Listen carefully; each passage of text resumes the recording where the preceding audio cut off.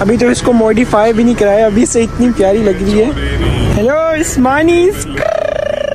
कैसी हो